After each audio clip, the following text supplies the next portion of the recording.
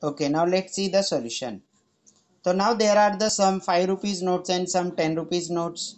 Total amount of that two notes together is 350. The number of 5 rupees notes are less by 10 than the twice the number of 10 rupees notes.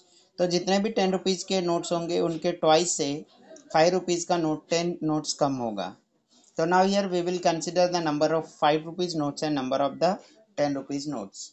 So let let the number of number of 5 rupees notes are x and number of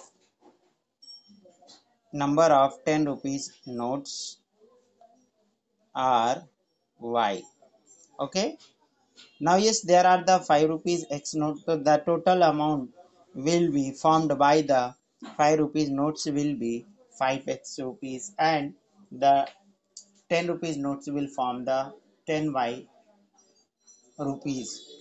So now multiply the number of notes with the value of the notes.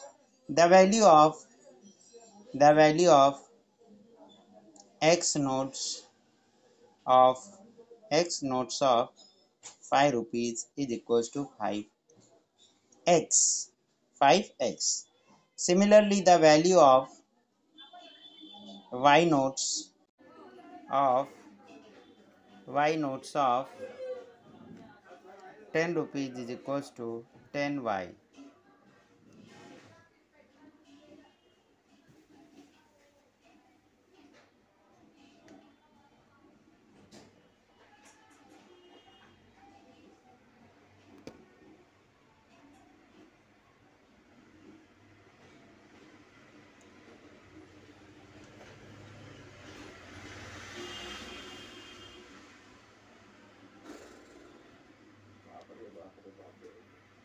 बापरे बापरे बाहेर तर danger काम चालू आहे